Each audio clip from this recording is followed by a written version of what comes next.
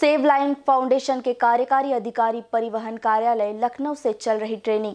यातायात, सड़क सुरक्षा को लेकर ऑनलाइन जनता को दी जा रही जानकारियाँ।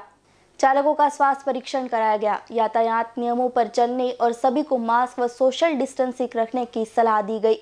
वाहन चालक नशा व नींद में वाहन ना चलाए। स्पीड का रखे ध्यान। खुद और अपने परिवार को रखे सुरक्षित। आरटीओ ऑफ़िस पर जनता को ऑनलाइन जागरूक किया गया। चालक जो है, किस तरीके से गाड़ी चलाए तो दुर्घटनाओं में कमी आ सके दुर्घटना को छह कारण हमने बताए थे भी, जिसको आपने मैंने बताया था।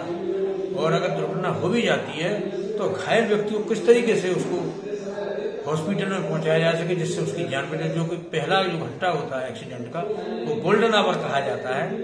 तो जो भी व्यक्ति, अगर किसी घायल व्यक्ति को हॉस्पिटल पहुंचाएगा तो उससे किसी प्रकार की कोई पूछताछ नहीं की जाएगी। और उसको गुड सेमिटेरियन लॉ के रूप में माना जाएगा, जो कि माननीय सर्वोच्च न्यायालय के द्वारा 2016 में विकसित किया है।